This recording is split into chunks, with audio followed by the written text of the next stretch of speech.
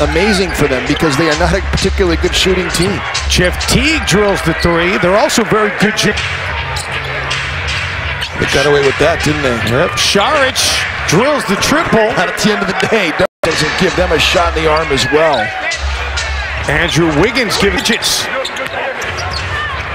Rose floater, and Derrick Rose was so instrumental from the field.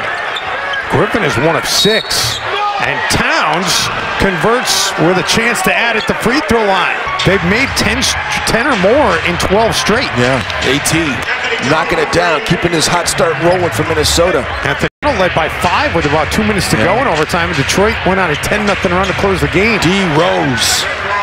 The Timberwolves. mm, Taj Gibson putting Thon Maker in the blender. Keita just keeps getting better and better, doesn't he? And Jeff Teague, you heard Marney Gellner talk about. That's right in Andre Drummond's wheelhouse. Andrew.